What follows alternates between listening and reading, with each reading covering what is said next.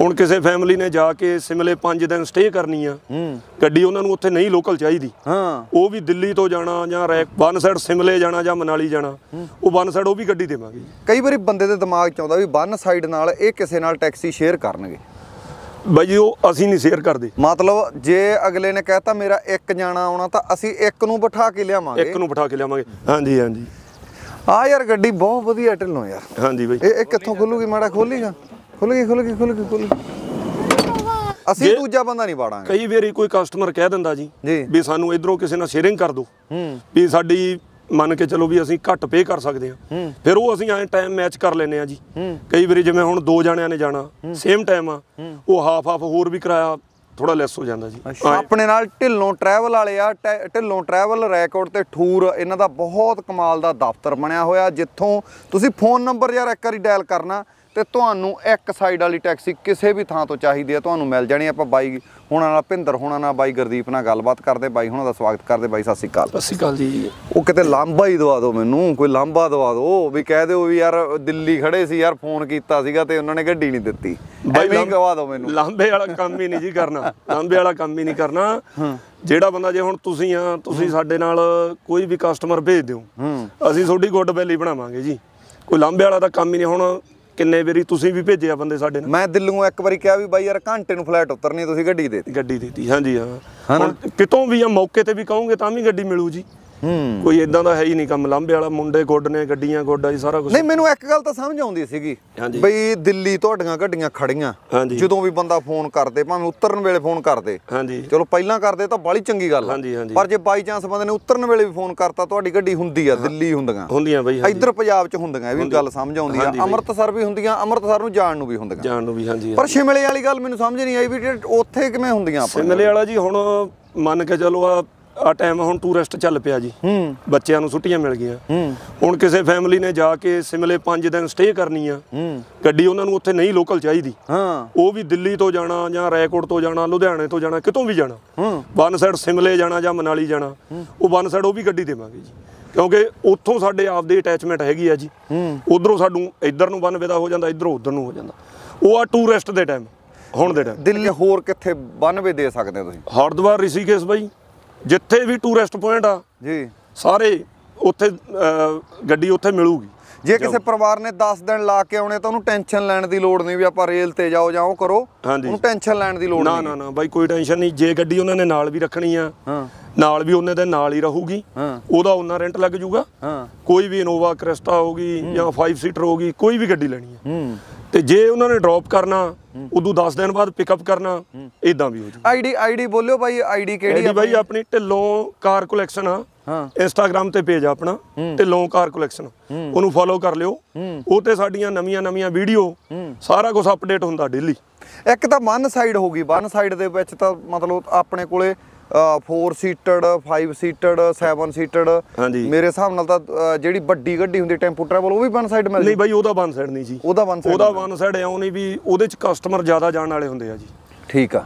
8-10 customer ਆ ਉਹਦਾ one side ਨਹੀਂ ਹੁੰਦਾ ਉਹਦਾ ਅਪ ਡਾਊਨ ਹੀ ਉਹਦਾ ਅਪ ਡਾਊਨ ਮਿਲੂਗਾ। ਮੈਂ ਕਿਹਾ ਕਈ ਵਾਰੀ ਬੰਦਾ ਭਲੇਖੇ ਚ ਨਾ ਰਹਿ ਜੇ ਤਾਂ ਕਰਕੇ ਗੱਲ ਕਲੀਅਰ ਕਰ ਲਈ ਕਿਉਂਕਿ ਮੈਨੂੰ ਗੱਡੀ ਹੁਣ ਨਵੀਂ ਪਾਈ ਆਪਾਂ ਹਾਂ। ਇਸ ਵਾਰ। ਹਾਂ। ਤੇ ਪਹਿਲਾਂ ਪੁਰਾਣੀਆਂ ਸੀ ਟਰੈਵਲਾਂ ਹੁਣ ਨਵੀਂ ਕਰੀ ਆ ਚੇਂਜ ਕਰੀ ਆ ਜੀ ਉਹਦਾ ਅਪ ਡਾਊਨ ਹੀ ਆ। ਉਹਦਾ ਅਪ ਡਾਊਨ ਤੇ ਦੂਸਰੀਆਂ ਦਾ 7 ਸੀਟਰ ਲੈ ਲਓ 5 ਲੈ ਲਓ ਆਰਟਿਕਾ ਹੋ ਗਈ 6 ਇੱਕ ਇੱਕ ਗੱਲ ਹੋਰ ਕਲੀਅਰ ਕਰ ਦਿਓ ਵੈਸੇ ਮੈਨੂੰ ਕਲੀਅਰ ਆ ਪਰ ਸਾਰਿਆਂ ਨੂੰ ਕਲੀਅਰ ਕਰ ਦਿਓ ਕਈ ਵਾਰੀ ਬੰਦਾ ਨਵਾਂ ਸੁਣਦਾ ਹੁੰਦਾ। ਹਾਂਜੀ। ਕਈ ਵਾਰੀ ਬੰਦੇ ਦੇ ਦਿਮਾਗ 'ਚ ਆਉਂਦਾ ਵੀ ਵਨ ਸਾਈਡ ਨਾਲ ਇਹ ਕਿਸੇ ਨਾਲ ਟੈਕਸੀ ਸ਼ੇਅਰ ਕਰਨਗੇ। ਬਾਈ ਜੀ ਉਹ ਅਸੀਂ ਨਹੀਂ ਸ਼ੇਅਰ ਕਰਦੇ। ਹੂੰ। ਜੇ ਸਾਨੂੰ ਕੋਈ ਸ਼ੇਅਰਿੰਗ ਦੇ ਵਿੱਚ ਕਹਿ ਦੂਗਾ ਵੀ ਮੇਰੇ ਨਾਲ ਅੰਦਰੋਂ ਕੋਈ ਆ ਰਿਹਾ ਉਹ ਆਪਦੀ ਮਰਜ਼ੀ ਨਾਲ ਸ਼ੇਅਰਿੰਗ ਕਰ ਸਕਦਾ ਪਰ ਅਸੀਂ ਸਪੈਸ਼ਲ ਹੀ ਦੇਵਾਂਗੇ ਗੱਡੀ। ਮਤਲਬ ਜੇ ਅਗਲੇ ਨੇ ਕਹਿਤਾ ਮੇਰਾ ਇੱਕ ਜਾਣਾ ਆਉਣਾ ਤਾਂ ਅਸੀਂ ਇੱਕ ਨੂੰ ਬਿਠਾ ਕੇ ਲਿਆਵਾਂਗੇ। ਇੱਕ ਨੂੰ ਬਿਠਾ ਕੇ ਲਿਆਵਾਂਗੇ। ਅਸੀਂ ਦੂਜਾ ਬੰਦਾ ਨਹੀਂ ਬਾੜਾਂਗੇ ਕਈ ਵਾਰੀ ਕੋਈ ਕਸਟਮਰ ਕਹਿ ਦਿੰਦਾ ਜੀ। ਵੀ ਸਾਨੂੰ ਇਧਰੋਂ ਕਿਸੇ ਨਾਲ ਸ਼ੇਅਰਿੰਗ ਕਰ ਦਿਓ। ਹੂੰ। ਵੀ ਸਾਡੀ ਮੰਨ ਕੇ ਚਲੋ ਵੀ ਅਸੀਂ ਘੱਟ ਪੇ ਕਰ ਸਕਦੇ ਹਾਂ। ਫਿਰ ਉਹ ਅਸੀਂ ਐਂ ਟਾਈਮ ਮੈਚ ਕਰ ਲੈਨੇ ਆ ਜੀ।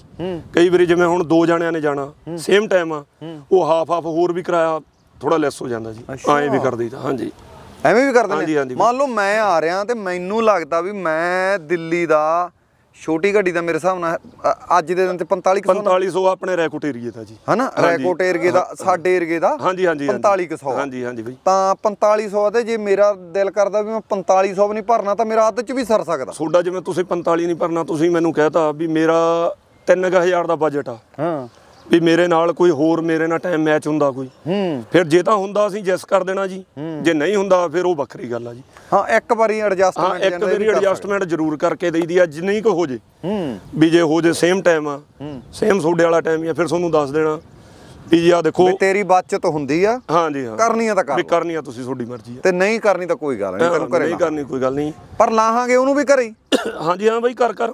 ਅਲੱਗ ਅਲੱਗ ਜਿਹਦਾ ਪਹਿਲਾ ਪੁਆਇੰਟ ਆਊਗਾ ਜਿਹੜਾ ਉਹਨੂੰ ਪਹਿਲੇ ਪੁਆਇੰਟ ਤੇ ਲਾਇਆ ਜਾਊਗਾ। ਹਾਂ ਇਹ ਜਿਹੜਾ 4500 ਕਿਰਾਇਆ ਮੈਂ ਦੱਸ ਰਿਹਾ ਇਹ ਇੱਕ ਸਾਡੇ ਰੈਕੋਟ ਏਰੀਏ ਦਾ ਕਿਰਾਇਆ ਵੀ ਜੇ ਹੁਣ ਬੰਦਾ ਕਹੂਗਾ ਅੰਮ੍ਰਿਤਸਰ ਤੋਂ ਦਿੱਲੀ ਜਾਣਾ ਤਾਂ ਉਹਦੇ ਲਈ ਅਲੱਗ ਹਾਂ ਉਹਦਾ ਜਿੰਨਾ ਥੋੜਾ ਕਿਲੋਮੀਟਰ ਵਧੀ ਜਾਣਗੇ ਉਹਦਾ ਵਧੀ ਜਾਂਦਾ ਹਾਂ ਤੇ ਜੇ ਕੋਈ ਘਟੀ ਜਾਣਗੇ ਤਾਂ ਘਟੀ ਜਾਊਗਾ। ਹਾਂ ਜਿੱਦਾਂ ਹੁਣ ਮਗਰ ਖੰਨੇ ਰੋਗੇ ਜਾਂ ਸਰਹੰਦ ਰੋਗੇ ਉਹਦਾ ਲੈਸ ਹੋਈ ਜਾਣਾ ਜੀ। ਉਹਦਾ ਲੈਸ ਹੋਈ ਜਾਊਗਾ। ਉਦੋਂ ਨਹੀਂ ਆਪਾਂ ਕਹਾਂਗੇ ਸਾਡੀ ਗੱਡੀ ਤਾਂ ਰੈਕੋਟ ਨਹੀਂ ਨਾ, ਸੀ। ਨਾ, ਨਾ, ਨਾ। ਐਵੇਂ ਨਹੀਂ ਹੋਊਗਾ। ਜਿੱਥੇ ਤੱਕ ਆਉਣਾ ਉੱਥੇ ਤੱਕ ਦਾ ਹੀ ਕਿਰਾਇਆ ਜੀ।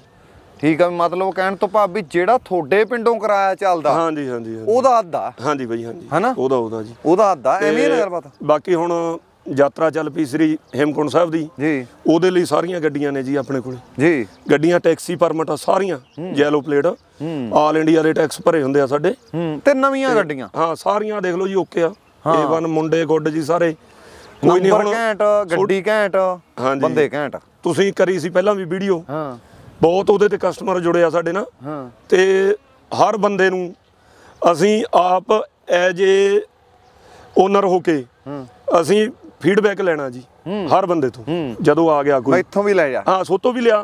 ਤੁਸੀਂ ਦੱਸੋ ਤੁਸੀਂ 에어ਪੋਰਟ ਤੇ ਗਏ। ਹਾਂ। ਤੁਹਾਨੂੰ ਕਾਲ ਕਰਕੇ ਪੁੱਛਿਆ ਹਾਂਜੀ ਮੁੰਡਾ ਗੁੱਡ ਸੀ ਹਾਂ। ਗੱਡੀ ਗੁੱਡ ਸੀ।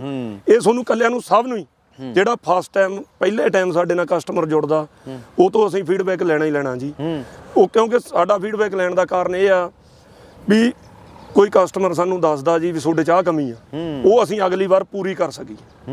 ਵੀ ਉਹ ਘਾਟ ਅਸੀਂ ਕੱਢ ਸਕੀਏ। ਉਹ ਪੁੱਛਣ ਦਾ ਇਹ ਕਾਰਨ ਆ ਪਹਿਲਾਂ ਤਾਂ ਕਿਰਪਾ ਵਾਹਿਗੁਰੂ ਦੀ ਕੋਈ ਦਿੱਕਤ ਅੱਜ ਤੱਕ ਆਈ ਨਹੀਂ ਜੀ। ਜੇ ਆਉਂਦੀ ਆ ਤਾਂ ਉਹ ਸਿਰ ਮੱਥੇ ਆ ਉਹ ਅਸੀਂ ਅਗਲੀ ਵਾਰ ਤੋਂ ਉਹਨੂੰ ਹੋਰ ਸੋਧ ਕੇ ਕਰਾਂਗੇ ਜੀ। ਸ਼ੁਕਰ ਹੈ। ਹਾਂਜੀ ਚੰਗੀ ਗੱਲ ਆ ਬਈ। ਹਾਂਜੀ ਬਾਈ ਹਾਂਜੀ ਚੰਗੀ ਗੱਲ ਆ। ਤੇ ਮਾੜੀ ਜਿਹੀ ਇੱਕ ਗੱਡੀ ਦਿਖਾ ਦਈਏ ਯਾਰ ਉਹ ਗੱਡੀ ਨਵੀਂ ਆਈ ਆ ਮਾੜਾ ਜਿਹਾ ਦਿਖਾ ਦਈਏ। ਇਧਰਲੇ ਪਾਸੇ ਤਾਂ ਤਕਰੀਬਨ ਸਾਰੀਆਂ ਗੱਡੀਆਂ 7 ਸੀਟਡ ਖੜੀਆਂ ਨੰਬਰ ਨੰਬਰ ਵੀ ਬੜੇ ਸੋਹਣੇ ਲਏ ਵੇ ਆ ਨੰਬਰ ਯਾਰ। ਹਾਂਜੀ ਬਾਈ ਹਾਂ ਨੰਬਰ ਤਾਂ ਆਪਾਂ ਨੂੰ ਸ਼ੌਂਕ ਹੀ ਇਹ ਚੀਜ਼ ਦਾ ਜੀ। 65 66 67 ਹਾਂ ਜੀ। 75 00 76 00 86 ਹਾਂਜੀ, 96 ਜਿਹੜਾ 66 ਇਹ 66 ਵਾਲਾ ਨੰਬਰ ਆ ਜੀ ਹਾਂ। ਇਹ ਆਪਣਾ ਪਹਿਲਾਂ ਤੋਂ ਸਟਾਰਟਿੰਗ ਤੋਂ ਜਿਵੇਂ ਜਿਵੇਂ ਜਿਹੜੀ ਚੀਜ਼ ਮਨ ਨੂੰ ਲੱਗ ਜੇ ਹਾਂ। ਵੀ ਉਹ ਗੱਲ ਆ ਵੀ ਆ ਤਾਂ ਹੀ ਜ਼ਿਆਦਾ 66 ਆ ਆ 0039 036 ਉਹ ਫਿਰ 86 66 ਆ ਗਿਆ 97 ਸਾਰਿਆਂ ਨੂੰ ਸਾਰਿਆਂ ਨੂੰ ਸਟਾਰਟਿੰਗ ਅਸੀਂ ਆ ਜਿਹੜੀ ਵੱਡੀ ਗੱਡੀ ਨੂੰ ਨੰਬਰ ਲਾਇਆ 266 ਤੋਂ ਇਹ ਤੋਂ ਸਟਾਰਟਿੰਗ ਕਰੀ ਹੋਈ ਹੈ ਜੀ। ਅੱਛਾ ਆ ਨੰਬਰ ਸਾਡਾ ਪਹਿਲੀ ਗੱਡੀ ਦਾ ਨੰਬਰ ਸੀਗਾ ਜੀ ਇਹ।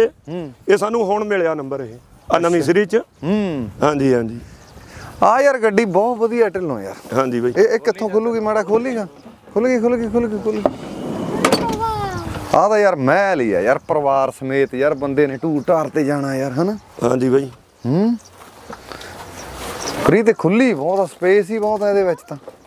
ਏਸੀ ਉਸੀ ਪੂਰਾ ਮਾਰਦਾ ਫਰਾਟੇ ਬਾਈ? ਪੂਰਾ ਜੀ ਕੱਲੀ ਕੱਲੀ ਸੀਟ ਤੇ ਹੈ ਜੀ। ਹਾਂ ਹਾਂ। ਏਸੀ ਕੰਪਨੀ ਹੀਟ ਆ ਗਈ ਜੀ ਇਹਦੇ ਚ। ਹੂੰ। ਲੈ।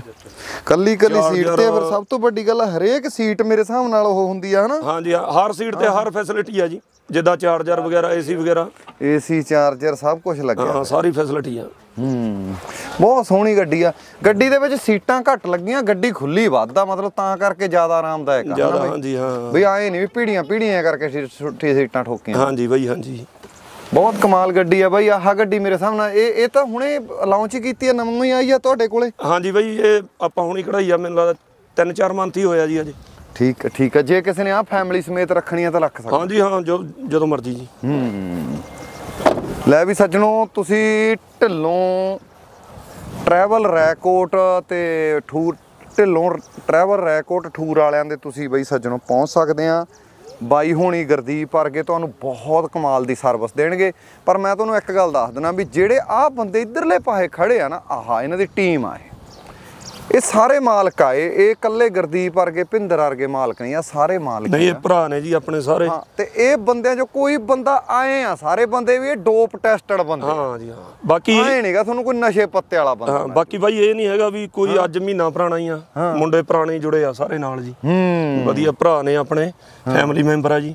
ਹਾਂ ਤੇ ਫੈਮਲੀਆਂ ਵਾਲੇ ਬੰਦੇ ਆ ਮਤਲਬ ਯਾਰ ਤੁਸੀਂ ਇਹ ਬੰਦੇ ਉਹ ਟੀਮ ਆ ਵੀ ਜਿਹਦੇ ਨਾਲ ਤੁਸੀਂ ਆਪਦੀ ਫੈਮਿਲੀ ਨੂੰ ਬੇਫਿਕਰ ਹੋ ਕੇ ਬਿਠਾ ਸਕਦੇ ਆ। ਤੁਹਾਡਾ ਕੀਮਤੀ ਸਮਾਨ ਤੁਹਾਡਾ ਗਹਿਣਾ ਗੱਟਾ ਸਭ ਕੁਝ ਇਹ ਬੰਦਿਆਂ ਦੇ ਨਾਲ ਸੇਫ ਆ।